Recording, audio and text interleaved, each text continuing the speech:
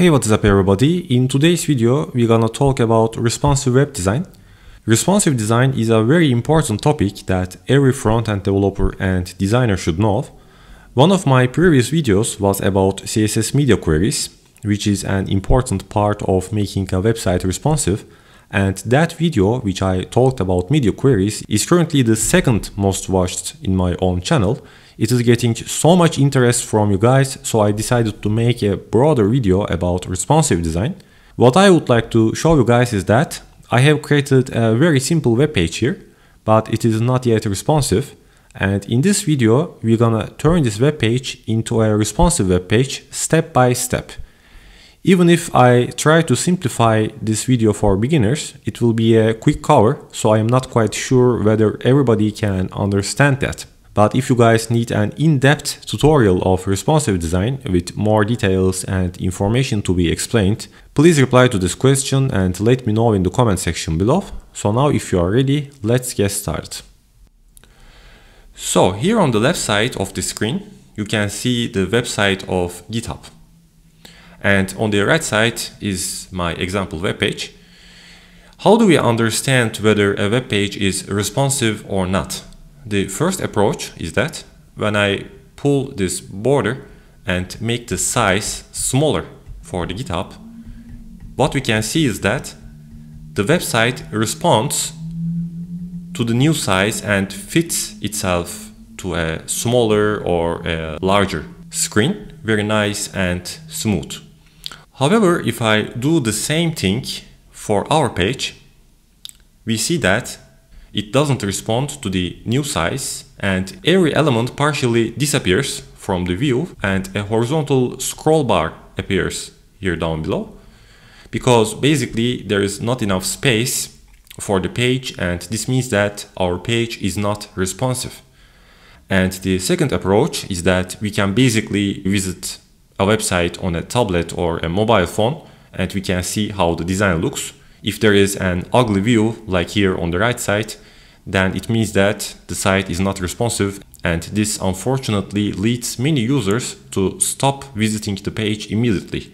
So that's why responsive design is very important and today's developers and also designers must know the concept of responsive design. Okay, so now let's start making our website responsive. The very first step we need to do is to add some meta about viewport to HTML head section. Let me explain why it is necessary. Currently I switched to Firefox because there is a nice feature I would like to show. And one of the best features of developer tools of a browser like Chrome or Firefox, whatever you use, is that it generates an example view of the current web page that how it would look in a selected device. And to do that, we just need to go and open the developer tools and then click on this icon here. And when we click on that, now it has switched to a device like iPhone 6, 7 or 8 currently we are here and we can pick any option from here. Now each device has a width and also our desktop browser like when we go back, it also has a width. And when we try to visit this page on a mobile device, for example, like iPhone 6, then it squeezes and tries to fit exactly this view on a much smaller device and as you can see it makes much harder to read or to click on a link or a button maybe because everything is uh, much smaller However, when we add the viewport information here, it will align the width of the browser to any device's width. So let me show how to do that. We basically need to come to the head section and type here meta to add additional information inside the meta tag and define a name as viewport. And after that, we're gonna write the content attribute and now we need to assign the width property to any device width. So this option will assign any device width to the current width and also we can define the initial scale as 1 which means that the current zooming option. Click on save. Okay, now let's refresh it. I go back. Now we are back on the same device and now as we can see the page got a lot bigger in the same device. I won't go more further into details of viewport, but one last thing I would like to show is that you don't even have to memorize this code here. I mean, you can find this anywhere on the internet, but if you are using VS Code, there is a shortcut for creating an empty HTML template with the exclamation mark and then click enter. If you use this shortcut, it will automatically add the necessary viewport information to the head of the HTML. So you don't have to memorize it and deal with it every single time when you start a new empty HTML template. The second step for making a website responsive is to making the layout of the web page more fluid. So for example, when I drag this and resize it to a smaller screen, what we see is that a horizontal scroll bar appears here. So let's see how we can fix this.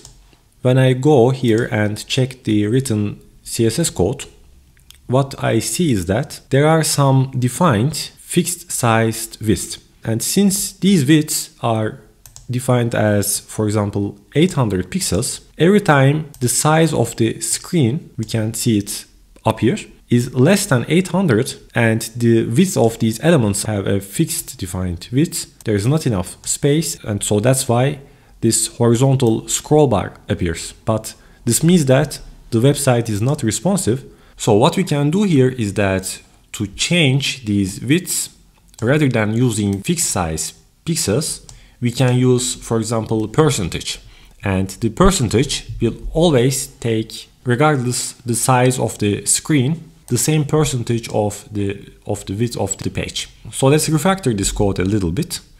What I need to do is that, actually we don't need this height here. I need to change all of these fixed size widths into a percentage and then let's see if that works. For example, the First one is this container. We can also see it here. And when I open the menu, there are some defined child elements and they are all under this container. So let me change this to 100% and it should always fit into this screen size. Save it. And as we can see, now all of these elements are fitted inside this small area. And what also important is that when you start writing code, you should try to use always like relative CSS units like percentage or also some of the other units rather than defining fixed size pixels for, for layout. For a responsive website, it should always be relative units so the website will be more fluid. Okay, now let's continue with refactoring and this time this is the main image which, which is probably under the image container and it also has a fixed width. So I will also change this to 100% and it looks much better now. We can see the whole image at once in our page. The image also adjusts its height regardless of the size of the uh, screen. But as we can see the horizontal scroll is still there so let's continue. Okay the next one is the footer the list of the footer probably so let me also change this to 100%. Okay, and as we can see, now also the footer has adjusted itself to the current size. And now as we can see, the horizontal scroll bar has disappeared because our website is more fluid now. Let me also check this in another device, like an iPad. As we can see, it looks now much, much better.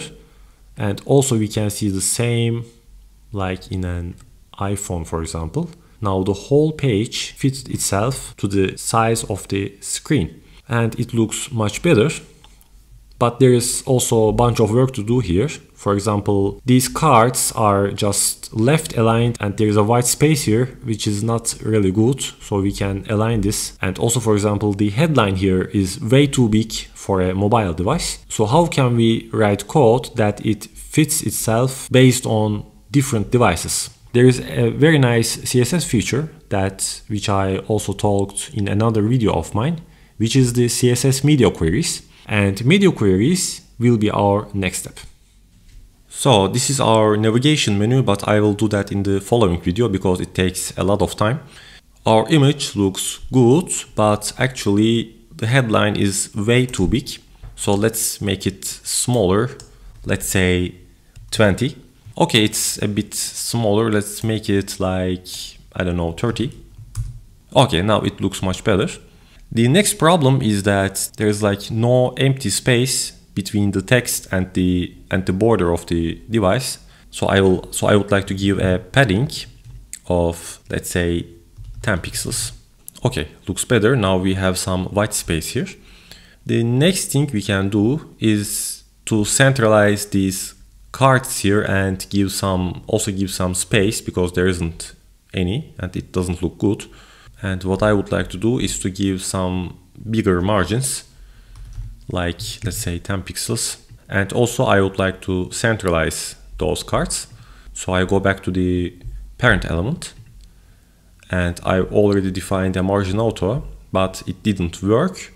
So let's also do this with a text align. And as we can see, now the cards are centered and the footer is not looking really good. So let's also change this.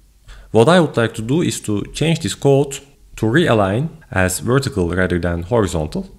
So let's delete this one. And now the list is vertical. Maybe it's better to give a little bit of padding, 5 pixels for top and bottom and 10 pixels for left and right. Okay, now it looks much better. Now our website looks a lot better in the mobile view. And now let's continue with larger devices. So till here, what we did is that just refactoring the CSS code for the mobile view. And now let's continue with larger screens. So let's switch to iPad. Okay, now as we can see, it still looks fine, but we can just do little adjustments here. For example, this headline is a bit small and the footer we can switch it back to a horizontal view. So let's do this. Now the media queries comes into play. So add media, screen, and now we are going to define the breakpoint of 786 pixels. So this is our breakpoint. And starting from this width size, we can apply our rules. So let's say I'm going to make this headline bigger. And what I need to do is that I need to copy this rule here and change the font size to let's say to 45 pixels. Okay, so as we can see, now the headline gets bigger. And next, let's switch this footer back to a horizontal line. So I'm going to copy the item class and add here a display of inline block and actually we don't need this padding anymore because we already have it. Now our footer is back to a horizontal list and when I switch back to a mobile view it's again back to a vertical list. So this is how we can use media queries in an efficient way. So now we have also aligned our code for iPad and finally let's also adjust the code for for desktop. And now I'm going to switch to full screen.